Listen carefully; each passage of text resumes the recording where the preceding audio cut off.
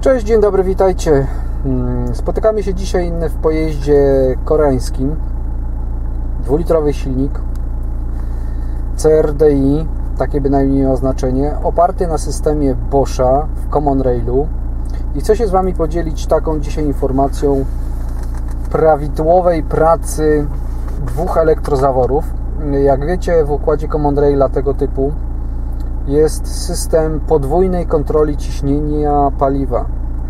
Otóż wygląda to w ten sposób, y, żebym naprowadził o czym rozmawiamy. Y, w pompie wysokociśnieniowej znajduje się elektrozawór, który jest zaworem wydatku paliwa, czyli to, co, to, co jest y, do zapotrzebowania paliwa, do zapotrzebowania wysterowania ciśnieniem układu wtryskowego, to jest zapotrzebowanie na paliwo właśnie tego układu tym elektrozaworem sterowanym, który jest w pompie. Natomiast znajduje się również drugi zawór, który jest zaworem upuszczającym paliwo, regulującym wysokie ciśnienie. Jest to zawór, który znajduje się na listwie. I bardzo często, gęsto ktoś próbuje zrobić odczyty, jaka jest prawidłowa wartość otworzenia jednego i drugiego zaworu. I otóż właśnie chciałbym się z Wami dzisiaj tym tematem podzielić. Generalnie rzecz jest jaka? Wiadomo, że musimy mieć jakikolwiek system, żeby się z nim połączyć, żeby móc zrobić jakikolwiek odczyt i musimy się odnaleźć, jeśli chodzi w kwestii lokalizacji, o którym zaworze mówimy. Y, tak jak w tym momencie tutaj mamy, zobaczcie, jest elektrozawór bardzo dobrze opisany akurat w tym przypadku pompa, czyli jest to zawór, który ten, ten regulator, zawór, bo słuchajcie, on jest różnie interpretowany, więc dlatego przyjmujemy różną nazwę, ale generalnie dotyczy tego samego.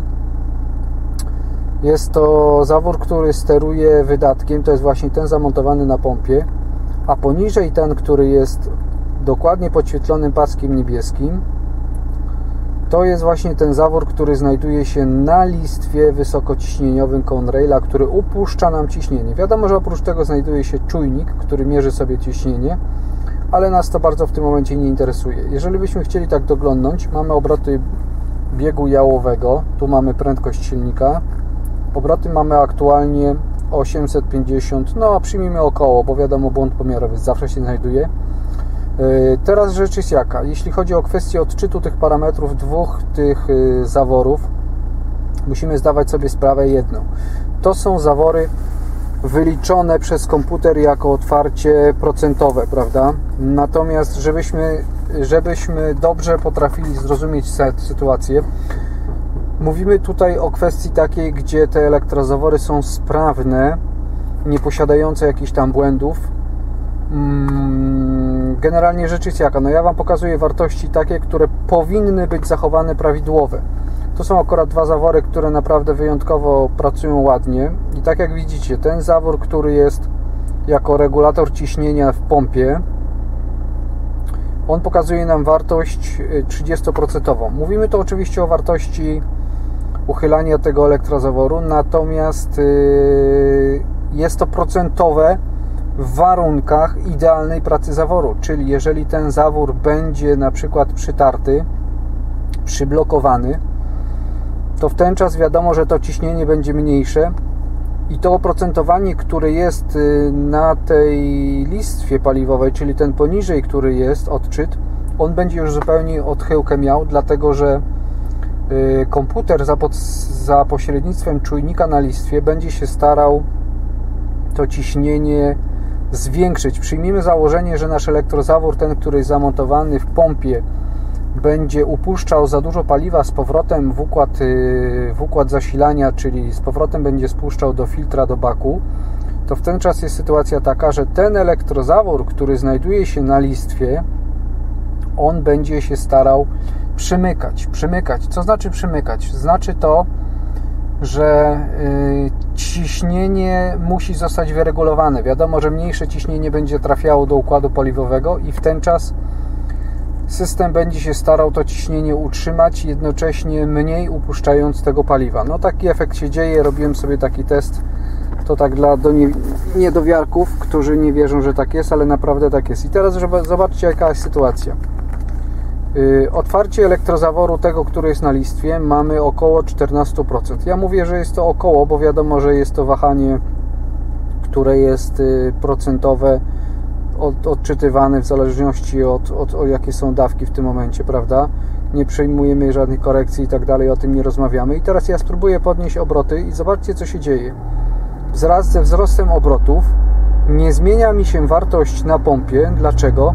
Dlatego, że ciśnienie paliwa zasilające te, które jest y, z pompki wstępnej, wychodzi na to, że jest prawidłowe i mniej więcej to samo ciśnienie jest utrzymywane przez cały czas w układzie, co świadczy o tym, że nasza pompeczka prawidłowo pracuje, jeśli chodzi o układ zasilania.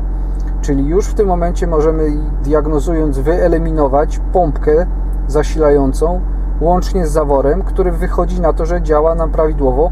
Natomiast jeżeli zobaczymy, co się dzieje tutaj na listwie paliwowej, no i tu już, słuchajcie, robi się troszeczkę różnica. Dlaczego robi się różnica? Dlaczego nasz elektrozawór zmienił tutaj oprocentowanie na wyższe? Otóż sytuacja wygląda w ten sposób, że pompa wysokiego ciśnienia pracuje na wyższych obrotach, wytwarza wyższe ciśnienie i nasz ten właśnie regulator ciśnienia, który jest na listwie, w tej drugiej pozycji, on stara się to ciśnienie utrzymać, co by nie było za wysokie, jednocześnie próbując się uchylać bardziej. Jeżeli zwiększymy obroty, ja Wam powiem, w tym momencie mamy 2000 obrotów, to jak zobaczycie, przepraszam, mamy o w tym momencie 2000 obrotów, to przy 2000 zobaczcie, ciśnienie zasilania wiadomo, że troszeczkę się zwiększyło. No kurczka wodna, wygasza mi się ekran. Ciśnienie się troszeczkę zwiększa, jeśli chodzi o kwestię zasilania tej pompy. Wiadomo, że wydatek paliwa się zwiększa, ale nie aż taka różnica, natomiast podniesiemy się do 2000 obrotów, w tym momencie mamy przekroczone 2000 jak zobaczymy mamy już 40% czyli można powiedzieć więcej jak dwa razy tyle nasz elektrozawór się uchylił. Próbując nam to ciśnienie wyrównać. Co świadczy o czym? A no właśnie o tym, że nasz układ paliwowy jest w 100% sprawny, drożny więc jeżeli macie problem tego typu, że na przykład wasz silnik nie uzyskuje mocy, bądź powiedzmy mamy jakieś problemy z trybem awaryjnym, to Wam ułatwi na pewno diagnozę, na pewno w jakiś sposób pomoże w ustaleniu problemu, bynajmniej tak jak tu w tym momencie widzicie. Spróbuję Wam cały zakres obrotów pokazać. Mamy 2000, 3000, 4,5 tysiąca być może to oprocentowanie w późniejszej kwestii powyżej 4000 już jest niewiarygodnym odczytem, ale niemniej jednak musimy wiedzieć, że nasz elektrozawór na listwie, jeżeli układ jest sprawny paliwowy, on uchyla się do powiedzmy tych 14-15%. Nie powinien tej kwestii przekroczyć. Oczywiście mówimy tu o kwestii gorącego silnika.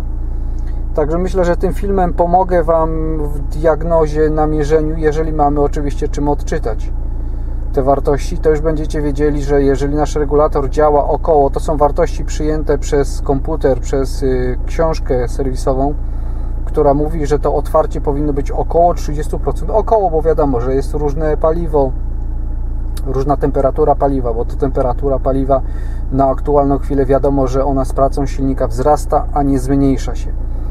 Także słuchajcie, myślę, że pomoże Wam to namierzyć, jeżeli macie problem, a jeżeli nie pomoże Wam, to po prostu piszcie w komentarzach, jeśli nie ja, ktoś tam postara się Wam ewentualnie pomóc. Ja też w każdej chwili nie odpisuję, musicie zrozumieć tę sytuację, ale staram się pomagać, bo założenie kanału było takie, aby pomagać osobom, którzy mają diesla, kochają diesla, nie chcą się z nim rozstać.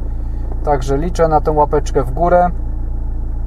Jeśli komuś pomogłem, a jak nie pomogłem, no to myślę, że z czasem myślę, że sytuacja się na pewno rozwiąże. Także póki co na razie pozdrawiam, Do zobaczenia, do usłyszenia w następnym filmie. Cześć, trzymajcie się, hej.